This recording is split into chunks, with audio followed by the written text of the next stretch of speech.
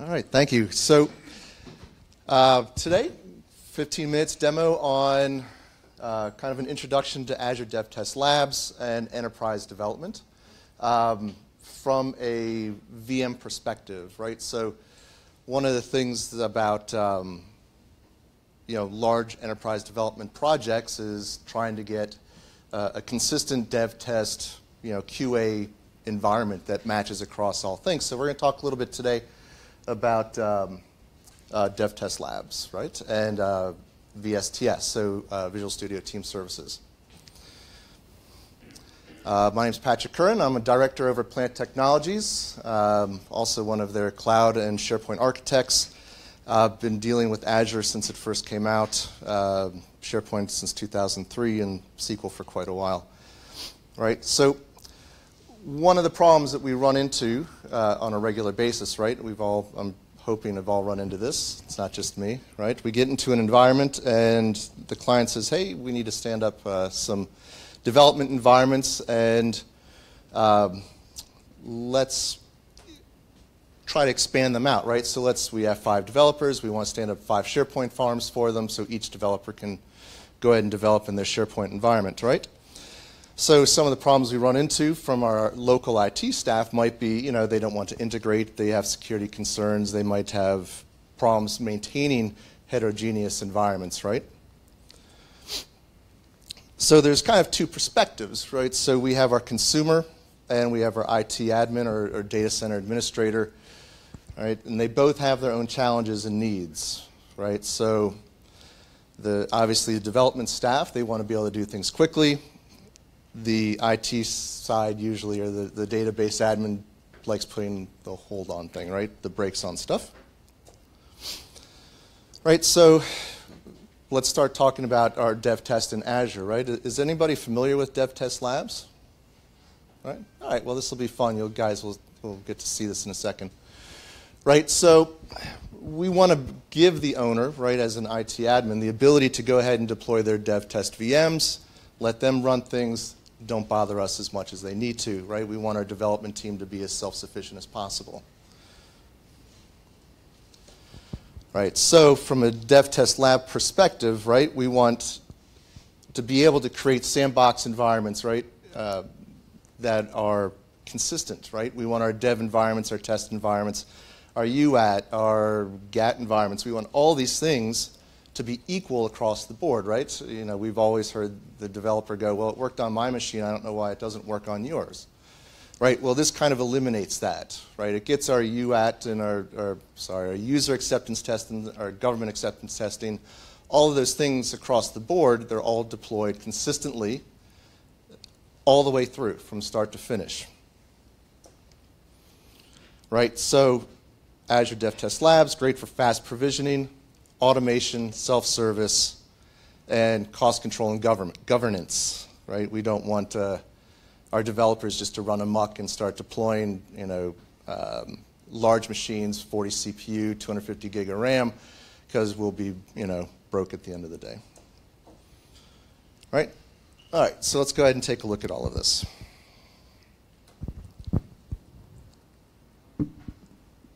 Hopefully you guys will be able to hear me without the microphone. All right. So from within our, our, Azure environment, right, we have a service called DevTest Labs, and I've created a, um, a lab itself, right? And ideally what I'm going to want to emulate is, let's just stand up a server, right? That's simple, that we're going to do development in. All right, so we can go ahead and add a, um, a server, right? And we can choose the base, right? So for my development environment, I want my developers to come in. I've got five developers starting tomorrow, yeah? And I want them to start deploying some .NET code into our environment. So I've, I've limited the amount of bases, that, uh, base images that I'm going to go ahead and deploy. Right, so let's just go ahead and choose a Visual Studio Community on Server 2016. And I'm going to let our developer put a name in. Uh, test zero. Right, we're going to create an admin uh, user for the VM, right? put in a password.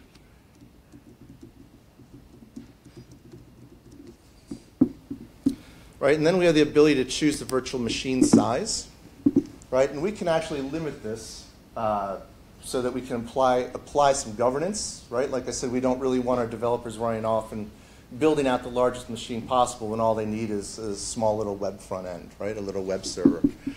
Right, so we're just going to grab this uh, rather large machine here, this D8S V3.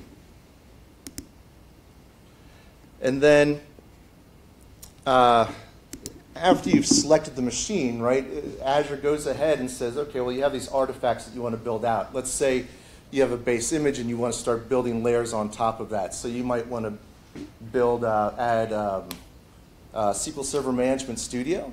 On top of it, you, want to might, you might want to add it to a domain. You might want to add a couple other uh, network shares. You might want to run some DSC or some PowerShell after it's been deployed. And this is where you would go and do it.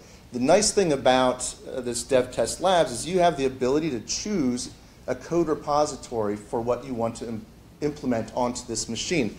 So you'll notice that we have a public repository,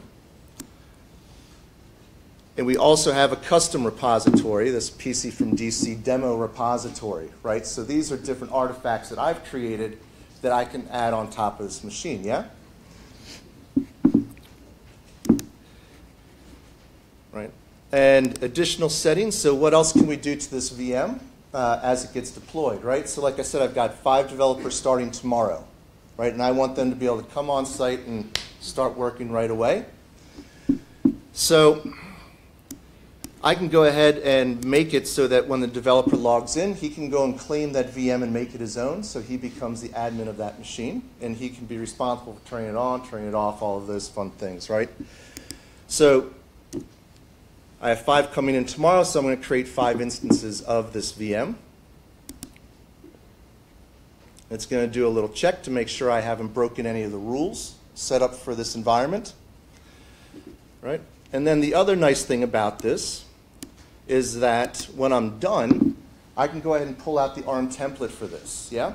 So what that means is I can take this JSON code and store it up in Visual Studio Team Services, right? So VSTS, and I can use it at a later time to recreate this master image that I've just created for the development team, right? I can create five VMs again and again and again in perpetuity until I have reached my limit, um, you know, that I've set in the governance in my governance model. Yeah. All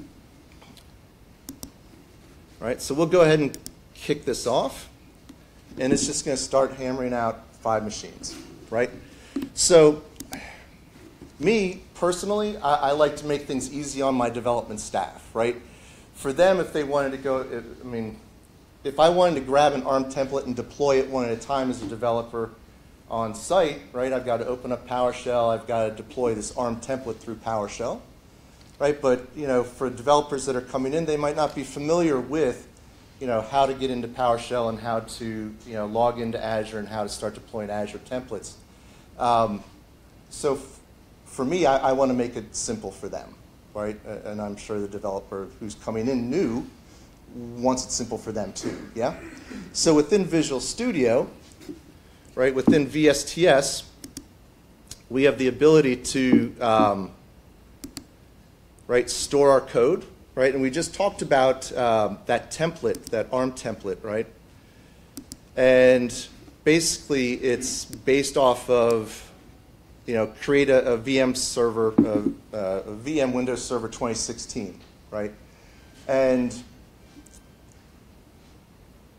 that ARM template is basically what we've uploaded into VSTS, right? As well as the artifacts that we saw that we were going to, to that we customize to push into our VMs itself. Right, and the nice thing about um, VSTS, now what I want to do to make my developers' lives easy, right, I have a build already created, right? So if I was a developer, I could just say, hey, you're a developer, go into the build for this, look up the server 2016, and then just add it uh, into the queue for a new build. Yeah? Right? So we have the ability to create the VM name, right? And we're just going to call it test VM um, one, right? We can add uh, additional disks to the machine, right? So if this is a, we're deploying a SharePoint server, we might add 16 to 32 data disks, might RAID them together so we have better SQL performance, right? And then, um, you know, how large do we want each one of these data disks to be, right? So we can go ahead and add that into the queue, and what that's going to do is it's going to actually start building as well, right? So in the background, right, if we take a look at what this is doing behind the scenes, it's essentially just stepping through um, an order of what we're trying to accomplish, right? So it's going to um, create the VM first, and then uh, it's going to add the data disks, and then I have it doing a, a couple of things in the background with the different ARM template. And that's it, right? So the developer has several options for you to uh, go ahead and create these, um, these different labs and different VMs. So let's go ahead and take a look and see where we're at.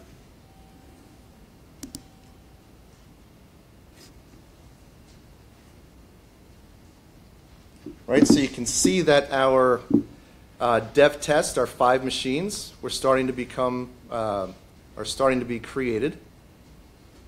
Right, and if we take a look at our uh, build, and take a look at build number 63 here.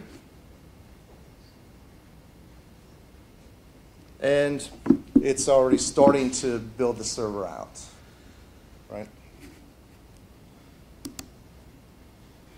So one of the nice things, you'll notice that, uh, you know, I have three machines that failed deployment, right?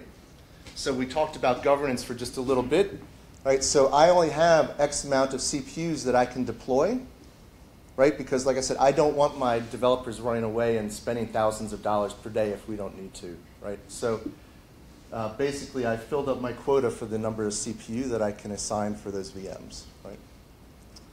All right. So um, I guess it's a quick demo of how to use uh, DevTest Labs and using your Visual Studio Team Services integration to deploy uh, VMs.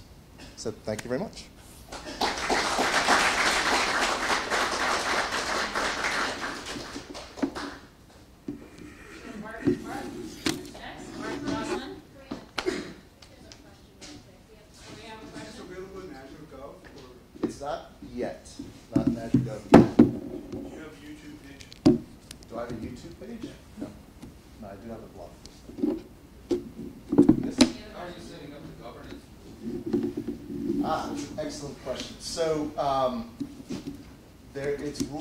Within the dev test lab environment itself, there's a configuration. Um, so the question was, where do we set up the governance rules for the dev test labs? Um, within the uh, dev test lab itself, there is a configuration um, setting, right? You just click on configuration and it gives you the options for um, you know, how many VMs per user, how many, you know, what machine sizes are okay, what build images can you use. Uh, and it goes all the way down through uh, things that are, you know, I consider really important. Um, when does my machine, when does this machine automatically turn off? Right, so you can set machines, to, all your machines to turn off at, you know, 6.30 p.m. Right, so that's, uh, that's all right in there in the configuration within uh, your dev test lab. Yes. Uh, when you set up those governance can you also make it rules-based? So if you have a user of a particular type, go in and say, this is a dev user, regardless of who they are, these dev, any dev user is going to have this governance. Yeah, absolutely. So the um, uh, you definitely can set up um, permissions that way. Yeah, yeah. Yes.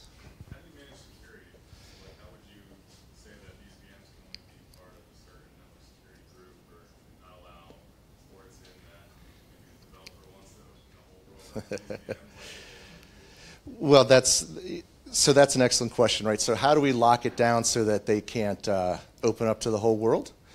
Um, so th- the way DevTest works is it's kind of a, a, a, an offshoot of it's almost like a little mini Azure within Azure itself, right? So while you have VMs and all of those things within the dev test lab, they still kind of live in Azure itself, and you can go into like the network load balancer for that machine and lock things down. Uh, but basically, you know, once you get into your dev test lab, you are just a contributor for, contributor for that machine, right? You don't have access to that network load balancer to open it up for the, the rest of the world, right? No, no, they just have access. And once you take contributor, once you take um, ownership of that uh, VM, that's that's it. You can only work within that VM itself, unless I've assigned you um, uh, rights outside of DevTest Labs to something within that resource group, right? This will be our last question, um, and then we'll move on to frame, and we, we have networking afterwards, so we can continue some of these questions. Right. Yeah, and I'll, I'll be around, so feel free to stop me.